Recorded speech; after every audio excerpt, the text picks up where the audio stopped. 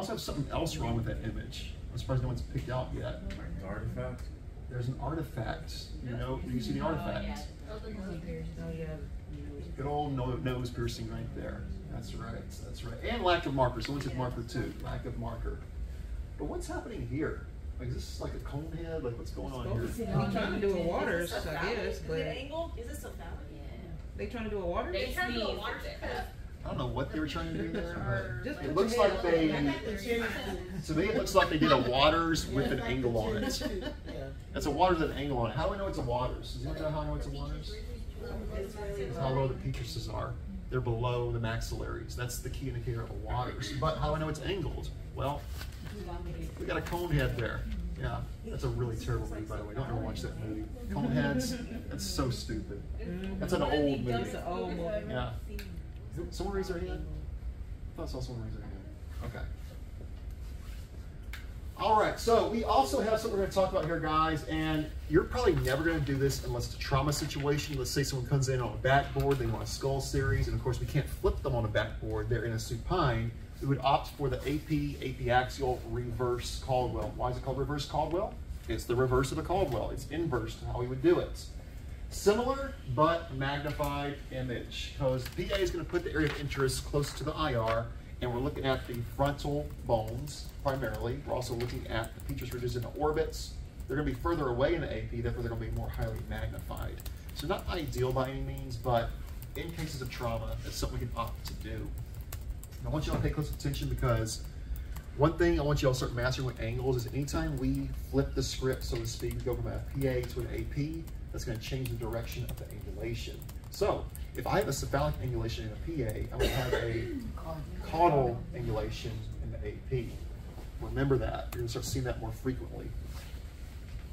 All right, so you'll see it says supine. We should never do this other than a supine because it is superior due PA, preferably upright and standing. So you should never be attempting this as a upright x-ray. Only supine in cases of trauma. MSP and OML will still be perpendicular to the IR. And as I said, we're reversing the angle. For a regular PA Caldwell, we're 15 degrees caudad. For an AP axial Caldwell, or reverse Caldwell, we're going to be 15 degrees cephalad. So we're inverse once again because we're flipping the patient. Cephalad also means cephalic. That's going to enter the Nasion, 10 by 12 cassette. Mm-hmm. Everything's done exactly the same. We're just doing it the reverse way and changing that angle. That guy's got a really hairy chest. Look, look, that's all, That's on, what- that's all on my face. Where's she does like a hairy chest. She does. She says she. But she she always doesn't like said. it. She said she loves it.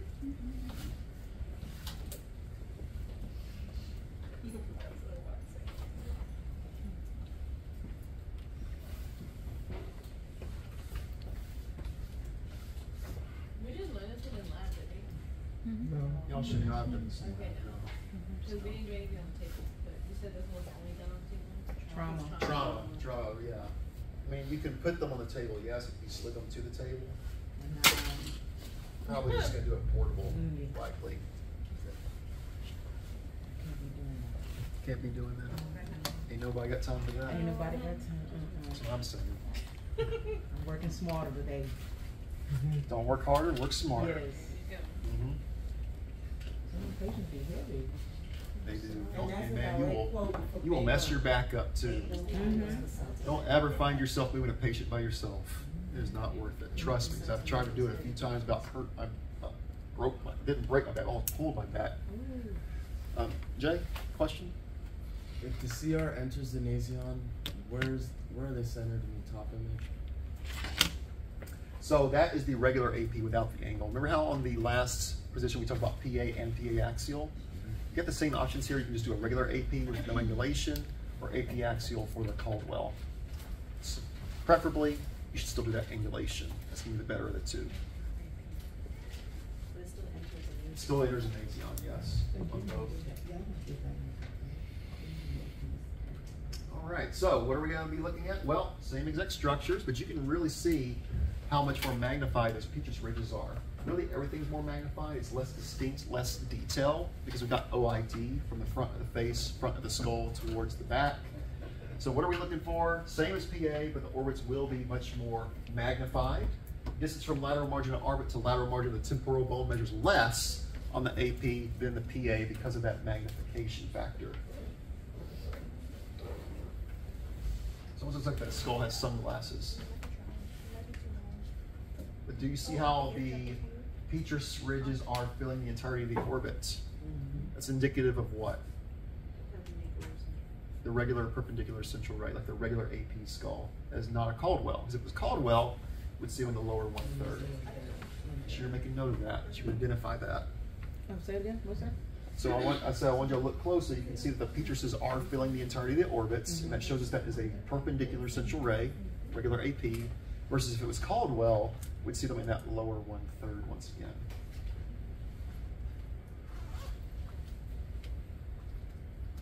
Can you point out the features? too? Mm-hmm. Basically, it's all this white you'll see right here.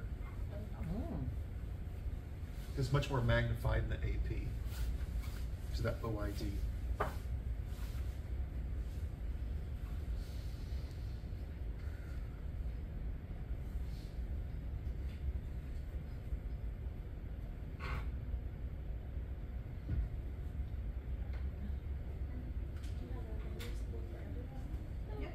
All right, what about the evaluation criteria? Well, of course, evidence of proper collimation and the side markers, which that image does not have. We're to attempt some tight collimation on the vertical axis because we are just raising the top of the head, cutting off a little bit of that mandible. But ideally, we want to show that we're at least trying to cut off some of the facial bones because we don't need them for the skull x-rays. So we want the entire cranium without rotation or tilt. You're going to notice through all the positions we're going through, that's always one of the evaluation criteria. You want the skull, facial bones, cranium, whatever, without rotation or tilt. That's going to be equal distances from the lateral borders of the skull to the lateral borders of the orbits. Of course, symmetric petrous ridges, something we definitely want to see in there. If they're off, that tells us that the head is tilted. We want that MSP of the cranium aligned with the long axis of the collimated field. And for the Caldwell, which is the 15 degree angle, petrous ridges should be the lower one third. If we're doing perpendicular, they're going to fill the entire orbits like we see in this image right here. Keep repeating that because you need to know that concept. Those petrous ridges, where are they at per position? And we're going to keep talking a lot about those petrous ridges as we move forward to these other positions. All about those petruses. I have a question. Yeah. So, uh, how much did you collimate for this? Because we only we're only looking for the skull. We're not really looking for the. You want to collimate on the vertical axis until you graze the top of the skull. Because if you go any further, you'll clip the top. And if we center the nasion, we will get part of the mandible too. You will. Oh. Yeah. On the sides, you basically just want to go up until you about reach the cheekbones or the zygoma. A little bit of light on the sides of the face. But if you clip the second line, it's It's okay. okay, but keep in mind, if you clip the zygoma, what else are you going to clip? That's Features. not- The parietals and the temporals. That'd be way too close for comfort. It's closed by itself. Yep. Oh, mm. It let did. go. Well, that's the ghost That of was X-ray Chester. past. Goes to the yeah. ranking. Walked out. The students that didn't pass the registry. Yes. They passed on to the other world too. Yeah. Apparently. Today's 14. Yeah? No, it- no, that's why I left. Like, I was like, yeah, that happened to me last night at the farm. One of the x-ray machines moved, the tube moved by itself. Oh, really? Yeah, and that was the second time it had happened. It happened in one room, floor room, and then it happened in the, and I wasn't the only one that saw it. I used to work with some really superstitious people at TCH. They always swore there was a ghost in one of the rooms. They didn't like to use it. I used it all the time. Yeah. I never saw it. I mean, they I, they used it. I don't but believe in all that. It was just me and the other person in it. It's like it. Nah, this is serious. it was like that. All right. Oh. Oh, break. Stop here. Oh, look, see, it knew I was coming to fuss at it. Stop here. It was not to mess with me. All right, this will be the last skull position before we get on to facial bones. your, your facial expression. Was gold. We're going to talk about the AP axial Towne method. T O W N E. That's Towne, not towns. A lot of people mistakenly call it a towns with an S, but it's just a Towne method. Towne method, yes. How would you pronounce K R O G E R? With an S or just? Kroger. It's Kroger without an S. Okay. A lot of people say Kroger's. About the grocery store, right? Right? Yes, sir. A lot of people mistakenly call it Kroger's. It's actually Kroger. Yes. Write that down. That's gonna be your bonus question. Mm-hmm. Okay.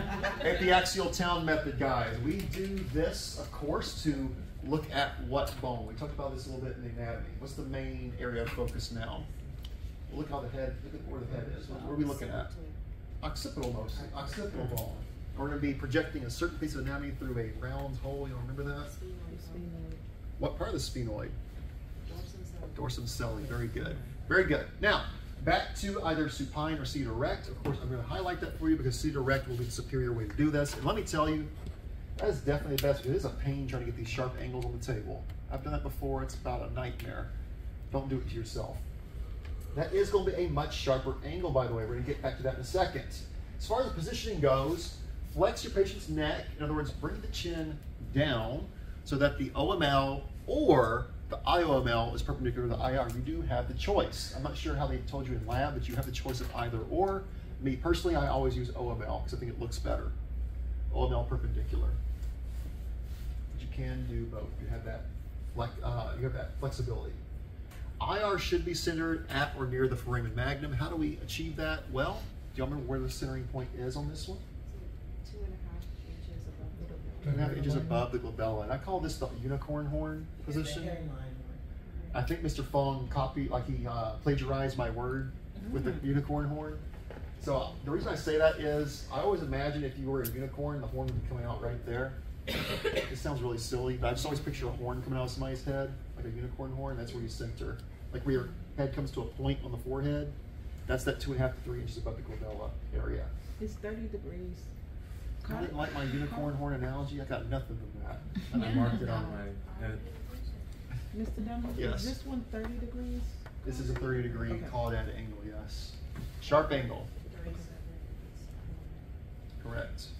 Correct. It is going to switch between the two. It's also why I stick to OML. I prefer the 30 degree angle because you're already elongating the skull enough. 37 just makes it really too stretched out, in my opinion. And there we go, guys. Entering approximately 2.5. But I'll say you can usually wiggle 2.5 to 3 on that. But ideally 2.5 inches above the glabella, passing to the level of the EAM. If you opt for the OML method, that's a 30 degree caudal angle. If you use the IOML, that's going to be a 37 degree caudal angle. Of the two, once again, I prefer OML. I think it looks better, gives you a much prettier image, but you do have that choice. 10 by 12 cassette still, guys, of course, collimate accordingly. Be careful on your collimation because as you know, when you have a sharp angle on your tube, what happens to your light field? It gets really stretched out, right? Have y'all been seeing that in lab, how it really distorts your beam, your, your light? So be careful on the collimation. It's gonna look like you have a lot of extra light, but the way that it's gonna present on the image is gonna be a little bit different. Just be careful when you collimate. Make sure the top of the light is just grazing the top of that vertex, and you'll be in good shape. Don't leave a lot of light above it, but just graze the top. As long as you have light on top of the head, you're good to go on this one. So I always call this the alien head because it makes your head look like an alien's head. And y'all should remember that from the images we've looked at, but it's the alien baby head x-ray. What was the? So make no, they don't like my unicorn analogy. They don't like the alien baby head. Either it's Friday or these jokes are just, I need to change my jokes up. I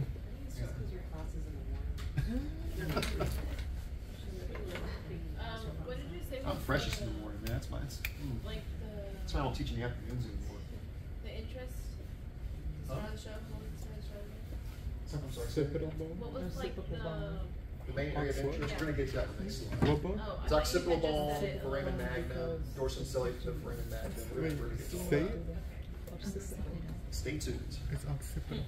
Obstacle, obstacle. You're Yeah, saying guys, I used to teach this class in the No, I'm saying afternoons. It was brutal. Is you're saying it like oh. Because for me, my energy peaks in the morning, but it goes sharply down after lunch. I'd be like struggling through some of these lectures. Ugh, it was rough. It was rough.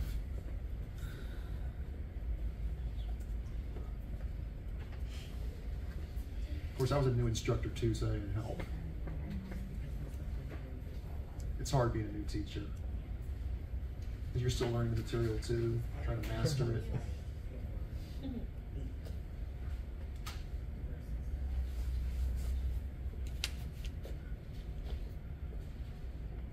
Right, so what are we looking at? Well, of course, we have the alien head there. Nice round bulbous bubble you see there. It's like a big air balloon. Yay, I got a fake laugh on that one. All right. Thank you. That makes me feel a little better. All right. We, of course, want to see symmetric Petrous pyramids. We are still looking at the Petrous ridges, even on this x-ray. Where do Petrous ridges appear on the Towne image?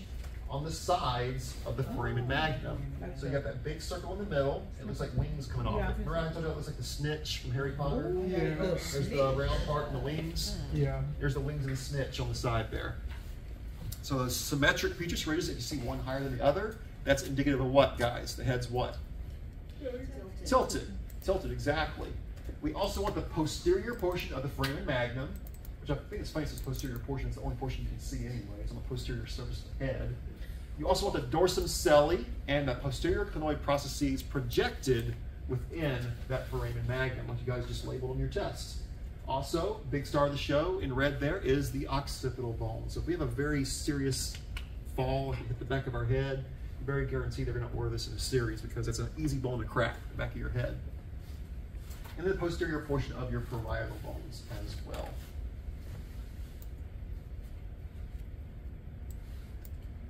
How come this one's labeled differently? Like, the posterior clinoid processes towards the edge. I'm sorry, what now? How come this one's labeled differently, like, like on your, on your chest? How's it labeled differently? Like, um, the posterior clinoid process is usually, um, in the middle. So your clinoid processes, usually I'm going to count this entire ridge right here. Dorsum sellae, just directly in the middle, back here.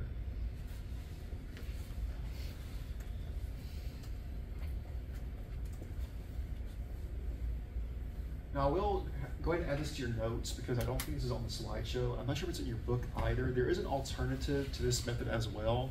If, once again, let's say the patient can't be supine, they can't be AP, they should be able to. If they can't, you can do what's called the Haas method, H-A-A-S. PA axial Haas method. So, with that being PA, what do you think you would do with your angulation? Cephalic. It'd be a 30 degree cephalic angle. Everything else the same. So I'd write that down. I think that's still in the curriculum, but I'm not sure if it's in your book. You can tell if it is in your book. What was it? Is it in your book? Highlight that in your highlight that in your book because I don't think it's on the slideshow. H A A S, the Haas method. It's the reverse for the Towne method. Always people with their names on these positions. I wish I had a Donahue method somewhere in there. I think they should do my little method with the centering of the L Yeah. spine. I like the used Donahue that method. yesterday and Shannon was like, where did you learn that? That's, that's better than what I did this evening. And I was like, oh, no, I didn't. It works, I'm telling you. It's superior. People don't believe me until they do it. Yeah, page fifty. Page 50, page 50 or text. You want to make sure you highlight that, guys. So it's P A axial, Mm-hmm. um, where do we center? Haas, H A A S. So, what reason do we do it? do we center? Still, it's going to be exiting the three and a half inches above the glabella. So instead of entering, it's exiting because you're you're backwards. All right, evaluation criteria. Of course, that good old collimation, got to have it from top to bottom, side to side, and your side marker, which all these images are failing to do on the markers. Entire cranium without rotation or tilt. I told you you'd see that again. That's going to be every position we go through this chapter. How we check that? Equal distances from the lateral borders of the skull to the lateral borders of the foramen magnum, symmetric Petrous pyramids. Keep in mind, you're to see these words used interchangeably. Petrous portions, Petruses, Petrous pyramids, it all means the same thing. So don't let that confuse you. MSP the cranium aligned with the long axis of the collimated fields. And big red there, because we definitely look for that. The dorsum sellae and posterior clinoid processes visible within the foramen magnum. If we cannot see both, that usually means either we did not utilize the correct angle. Okay, over here? We good? Yeah. We either did not use the correct angle or we did not tilt the chin enough.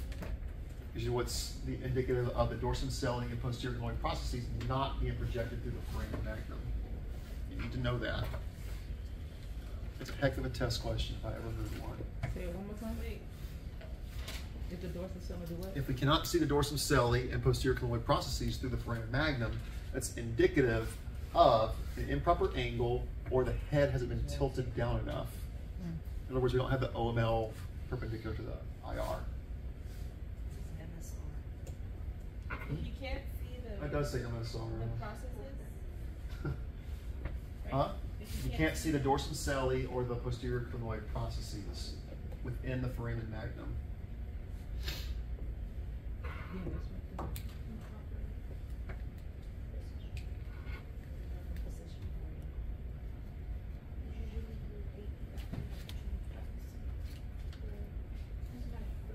Yesterday I did a, um, for the L spine on a, on a short person. On a- Yeah, on a I what remember. Person? On a short. Oh, a short per, like a, like a little person? Yeah, a little person, yeah. But, you know, you ever notice if like their heads are always like. like Very bigger? large? Yeah. Mhm. So would that change a little bit of the? You wanna know why that is? Because did y'all know of all the parts of the body that never stop growing, the human skull never stops growing in certain aspects? Really, like your forehead never stops growing, your head never stops elongating, your nose, your nose also never stops growing. I think your chin and ears as well, that all continues growing throughout your entire life. Unlike other parts of the body that stop. So when you're doing like head work on them, it's a little bit more difficult or? Well, yeah, yeah, it is, but I was gonna say, in their case, it's gonna look more pronounced that as well, because their whole body is so much smaller, it's gonna really pronounce the continued growth of the head. Mm-hmm. So you said, uh, that's indicative of improper positioning or rotation? Yes. Or sorry, proper positioning and angulation. Oh, it's nine oh one, take our break, guys. Or we get towards the SMV here. You say the last one, just mostly a bad centering, You got slight tilt going on, no marker, pretty simple critiques. I'll go on the right. It's Anything wrong with that one? rotated. No marker. It's rotated. Anything going with that one? Or is that pretty perfect? Well, we have no marker, we'll throw that out. There's a tilt. Is there a tilt? Yes. How do you know there's a tilt, Johns? The um, it shows up. I'll let you know. I see the mandibles are a little too towards the right. Well, I don't want you to look at the mammals, I want you to look at something else, because there's something else we focus on for that tail x-ray. Peach was Which is ridges, so the left is slightly higher than the right, so we have slight tilt of the head. So really, both these are pretty good, but your biggest enemy, as I keep saying when it comes to head work, is gonna be either rotation or tilt. And you always gotta look for those peaches ridges, it's one of your big indicators. What about this one right here? Do we have, do we have two repeatable errors, or, or are there no errors at all? Earrings, artifacts. Yeah, that's the big elephant in the room right there, of course. We have two earrings, left and right. But this should be a good indication of what's going on as well, because we see these earrings separated, what's probably going on? We got some tilt going on. Anything else wrong with it?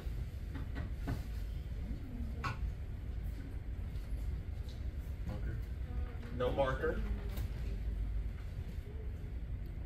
How about too much of the facial bones? I would say we're probably not centered in the right location there. We're probably centered way too low. So we got C-spine, we got the entire mantle, we got all the face. It's supposed to be a lateral skull.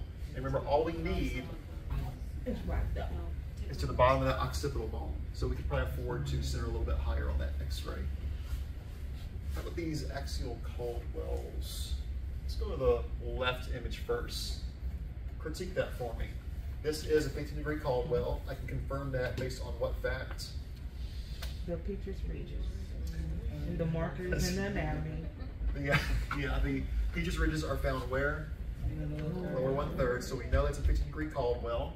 But what's going on with this image? What's wrong with it? The marker is in some of the. The marker is in the anatomy. Did y'all see that? Big no no. Anything else?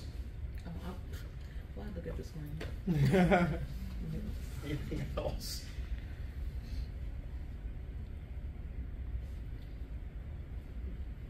This big thing up here.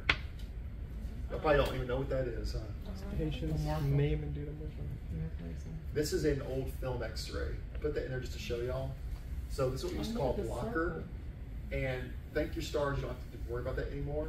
So blockers were on the film cassettes, and that's how you tag the film with the patient's name and information before you shot the x-ray. And you had to always learn, you had to learn how to position that correctly to not be in the anatomy as well, alongside the marker. There's another thing that would get in your way. So that would need to be repeated because it's directly in the area that we need to visualize. Looking at letter B over here, we got a big problem with this one. Does anybody know what's wrong with this one, right? Aside from no marker and things like that. We don't even see peaches ridges at all in the eyes, correct? In fact, where are they? They're way down here. So what do you think's going on there? The hair's not tilted. It's not extended. They either angled too much, didn't angle at all, or they lifted the chin too much, or a combination of those factors. Because the peaches ridges are way too low. They're not what we need them to be. But there's also something else going on in that image. See, Artifact. very closely. You said artifact. Where's the artifact? Uh, nose or something in the back. It is in the nose. Did y'all see In that? the wig. Is it a nose ring? That cone wig. So that's not a nose ring, it's something in the hair. Yeah. Uh-huh. I I don't know if it's. Oh, for real? It is something in the hair. It's not a nose ring. What is that cone? Something. Oh god, this is gonna drive me insane. Okay, how are tilt and rotation determined on this lateral? It is telling there's some tilt and rotation. How can we tell there's tilt and rotation?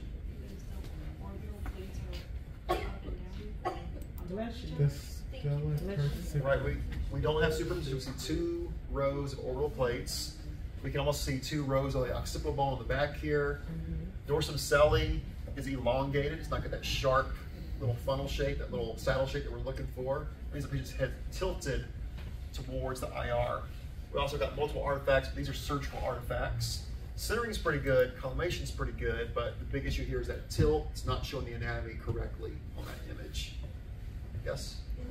On that last image, um, the stuff on the film, is that the old alternative to DICOM? Yeah, it's film, film X-ray. So like that's the standard for identifying patients and all that. Yeah, you would have to always. It was called flashing a cassette. I did this a little bit whenever I was in X-ray school because one of the old hospitals I rotated there was just getting rid of film.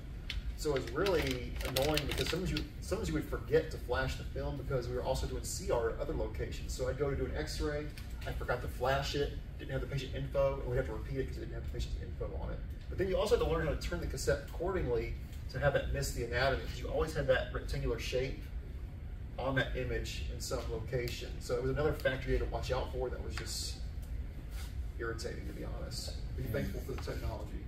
It wasn't a physical thing, right? It was when you say you flashed it, you So- shot it with something. Basically, what it was, imagine this was a film cassette. There'd be like a little black rectangle right here.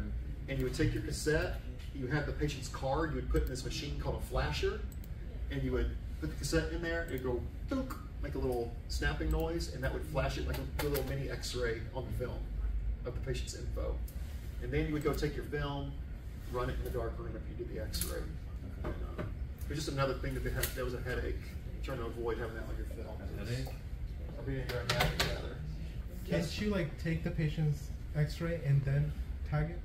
You could, but they always advise against that because we would always forget. Um, Especially if you're doing a lot of films and you're, usually with film guys, you'd have one person taking the x-rays, one person working the dark room. So as you would take an x-ray, so let's say we're in an x-ray room here, guys. The dark room would be right next door in between the rooms. And there'd be this little door right here. So I would take my x-ray, I would feed it through the door, I'd knock on the door, they would open it up in, in the mm. dark room and run the film while we're doing the next x-rays. Cool. So you'd always work in pairs like that. Now if you were by yourself, it made it slower because you would take all your x-rays, then you'd have to walk to the dark room, run each film, and wait for them to painfully come out. And let me tell you, when you're doing comps, talk about waiting for your execution. Like it was like waiting on an execution. Like time was going slow because you'd be watching that film come out like this. And, and, and, and you're like, did I get it? Mm-hmm. Did I get it? Are my custom frame angles on there?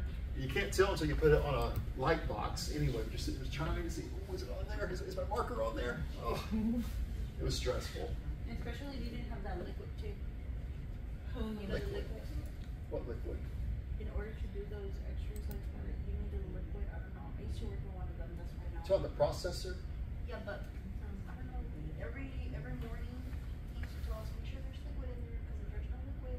For the processor, yes, yes. So sometimes it would. But, uh, technology's amazing, we don't have to worry about that stuff anymore. It What was that tube? Hmm? The tube that was in the back of the head. What now? Was there a drainage tube in that last patient? Yes, it's a shunt. That is the shunt. It's also a lot of motion. How about this one here, guys? PA skull. Is that even a PA skull? We cut the top of the skull off. That's likely a mandible X-ray.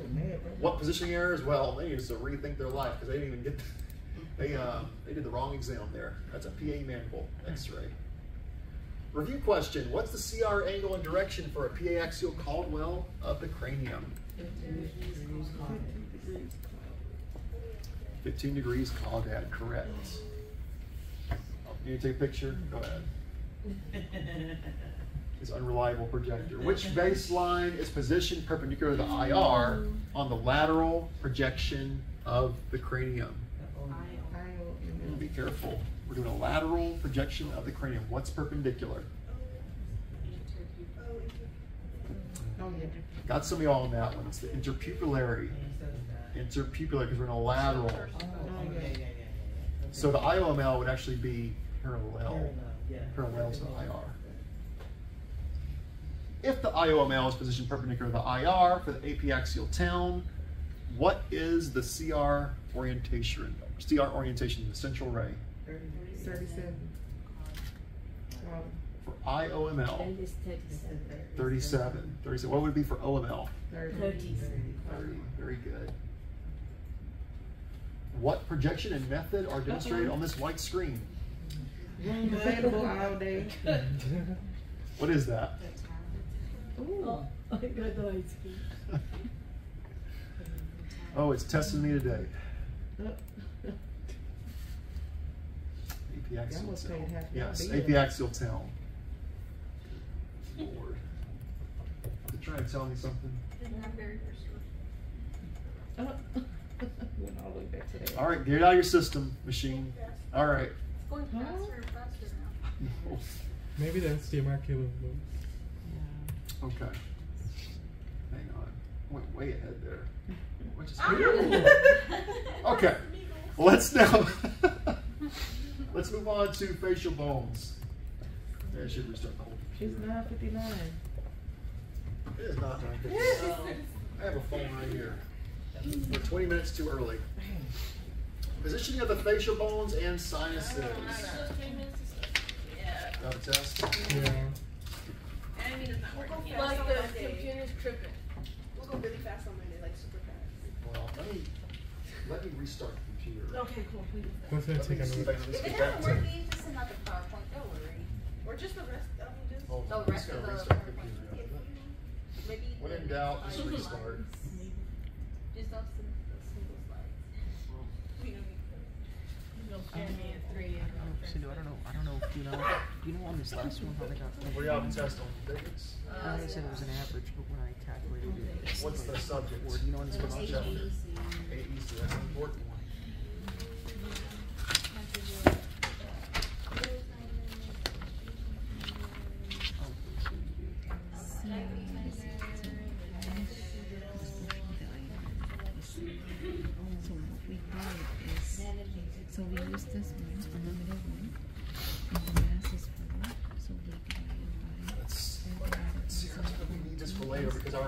Our ILEs are actually gonna present to you guys in study hall today.